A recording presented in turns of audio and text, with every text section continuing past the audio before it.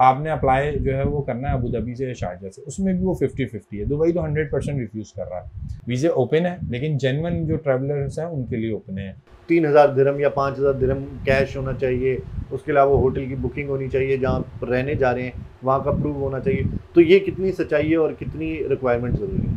किसी भी इमिग्रेशन का आप किसी भी मुल्क जाते हैं तो वो आपसे होटल बुकिंग और आपसे जो है वो शो मनी जो खर्चा आप करने के लिए जा रहे हैं तो वो वो आपने दिखाना जो दिखाना ज़रूरी होता है। हम्म। आप क्रेडिट कार्ड की सूरत में आप रख लें अपने पास तो जो लोग नौकरी के लिए जा रहे हैं तो वो जो है रुक जाएँ थोड़े दिन। वालेकुम खवातीन हजरात। आज मैं वीडियो बना रहा हूँ उन लोगों के लिए जो मायूस हो चुके हैं अपने मुल्क से पाकिस्तान से और चाहते हैं कि वो बाहर जाके नौकरी करें। ऐसे बहुत सारे लोग हैं क्योंकि हमारे मुल्क के हालात कुछ ऐसे हैं जिसमें बहुत सारे ग्रेजुएट और स्किल्ड जो लोग हैं वो भी शायद सर्वाइव नहीं कर पा रहे तो वो चाहते हैं कि वो दुबई जाके या कहीं और जाके नौकरी करें। तो सबसे पहले उनके दिमाग में जो डेस्टिनेशन आती है, वो आती है दुबई, कि दुबई जाएँ और वहाँ पर जाके नौकरी करें और अपने अपने और अपने घर वालों के हालात सुधारें, बेहतर करें। तो दुबई जाने के लिए जो अब रिक्वायरमेंट्स हैं, वो क्या हो चुकी हैं? और किस तरह से आप दुबई जा सकते हैं वहाँ का वीज़ा ले सकते हैं जॉब ढूंढ सकते हैं ये तमाम चीज़ें आज की वीडियो में होंगी। तो उम्मीद करते हैं कि आज की वीडियो आपको ज़रूर पसंद आएगी।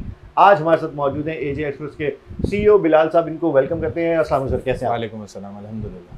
अच्छा बिलाल भाई आपने सुन लिया मैंने क्या जी, बताया जी। कि दुबई एक ऐसा डेस्टिनेशन है जहाँ पे हर कोई बंदा सोचता है कि यार मैं जाके चलो अपनी किस्मत आजमा लेता हूँ शायद वहाँ पे नौकरी मिल जाए। लेकिन आजकल वीज़ों का क्या स्टेटस है किस तरह से वीज़े लग रहे हैं या नहीं लग रहे, कितने चांसेस है, जाना चाहिए अप्लाई करना चाहिए, नहीं करना चाहिए, ये सारी चीज़ें मैं आपसे पूछने वाला हूँ। सबसे पहला सवाल कि किन लोगों के अभी राइट नाउ वीज़े लग रहे हैं? इसमें कुछ ऐसे हैं कि वो एज का जो है वो क्राइटेरिया चालीस साल से फोर्टी ईयर्स से जो अंडर हैं, उनका वीज़े में ज़रा फिफ्टी फिफ्टी है, क्योंकि वो अबू धाबी इमिग्रेशन कर रही है और शारजा कर रही है दुबई डायरेक्टली रिफ्यूज़ कर रही है। तो अगर आप अंडर फोर्टी हैं तो आप दुबई से अप्लाई नहीं करेंगे। होता वो यू वीज़ा ही है। हाँ बेसिकली पूरा ही होता है। पूरा ही होता है। लेकिन वो आपने अप्लाई जो है वो करना है अबू धाबी से या शारजा से। उसमें भी वो फिफ्टी फिफ्टी है। दुबई तो हंड्रेड परसेंट रिफ्यूज़ कर रहा है। तो उसमें भी फिफ्टी फिफ्टी अभी अफवाहें चल रही थी कुछ ऑनलाइन जो यूट्यूबर्स हैं और लोग हैं जो जो नॉन फ़ील्ड वाले हमारे यहाँ एक तो ये हम्म। बड़ा मसला है कि वो नॉन फ़ील्ड वाले जो खुद एक्सपर्ट बन जाता एक्सपर्ट बन जाते हैं वो वीडियो पे ऐसी चीज़ें बता देते हैं तो हमारे लिए वो प्रॉब्लम होती है। फिर क्लाइंट हमें बोल रहा होता है कि भाई ये हम्म। वीडियो पे तो ये कह रहा है। तो बहरहाल वीज़ा बंद नहीं है किसी भी तरीके से। वीज़े ओपन है लेकिन जेनवन जो ट्रैवलर्स हैं उनके लिए ओपन है। ओपन है। जैसे कि फैमिली जा रही है तो दुबई से अप्लाई करेंगी दुबई इमिग्रेशन से और वो उनके वीज़ाज आ जाते हैं उसमें रिफ्यूज़ल नहीं आती। इसी तरीके से चालीस साल से ऊपर अगर सिंगल आदमी अगर जा रहा है तो वो भी दुबई से अप्लाई करेगा उसमें भी रिफ्यूज़ल नहीं आती। हम्म। जो जॉब ढूँढने वाले लोग होते हैं वो ज़्यादातर यंगस्टर्स होते हैं वो 25 से लेकर पैंतीस चालीस साल चालीस समझ लें आप। तो यही लोग होते हैं जो बेचारे नौकरी के लिए जा रहे होते हैं हालात भी इधर ख़राब है। उनका ये है कि फिफ्टी फिफ्टी इस वक्त चल रहा है। तो वो उनका अगर कोई और प्लान है तो वो उसको उस वक्त एग्जीक्यूट वो कर लें।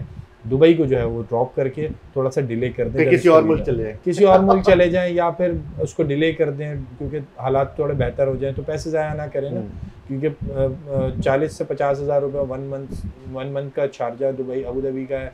और फिर इसी तरीके से मतलब हज़ारों में पैसे हैं तो फिर वो कमाना भी बड़ा मुश्किल होता है बेचारों के लिए। तो जो लोग नौकरी के लिए जा रहे हैं तो वो जो है रुक जाएँ थोड़े दिन और इसको इस तरीके से अप्लाई करें। अगर चालीस साल से ऊपर हैं तो आप दुबई का वीज़ा अप्लाई करें और फिर आप जा सकते हैं ठीक है। अच्छा अब जो नेक्स्ट सवाल बनता है वो ये बनता है जी कि मुझे बताएँ कि रिक्वायरमेंट बेसिकली क्या क्या है? क्योंकि सुनने में आ रहा था कि आपके पास तीन हज़ार दिरम या पाँच हज़ार दिरम कैश होना चाहिए उसके अलावा होटल की बुकिंग होनी चाहिए जहाँ रहने जा रहे हैं वहाँ का प्रूव होना चाहिए। तो ये कितनी सच्चाई है और कितनी रिक्वायरमेंट ज़रूरी है?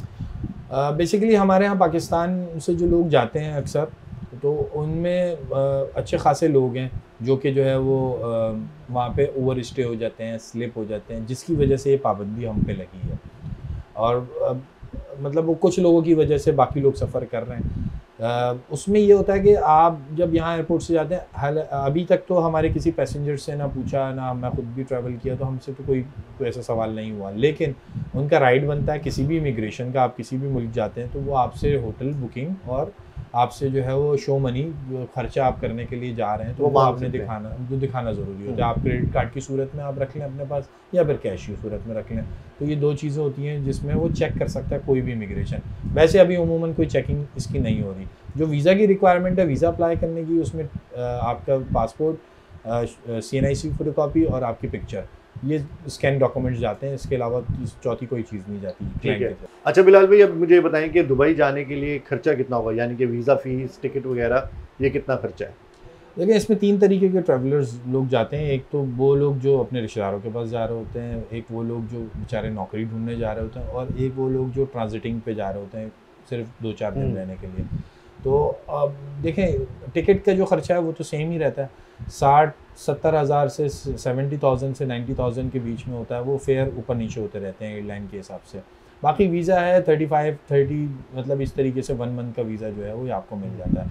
तो ये इसका जो है वो मार्जिन इतना होना चाहिए आपको। अच्छा अब जो ट्रांजिट वीज़ा होता है ये मिनिमम कितने का होता है और कितने घंटों का या कितने दिन का स्टे मिल सकता है वहाँ पर? एक इसमें दो दो ट्रांजिट वीज़े होते हैं। एक होता है 48 आवर्स और एक होता है 96 आवर्स।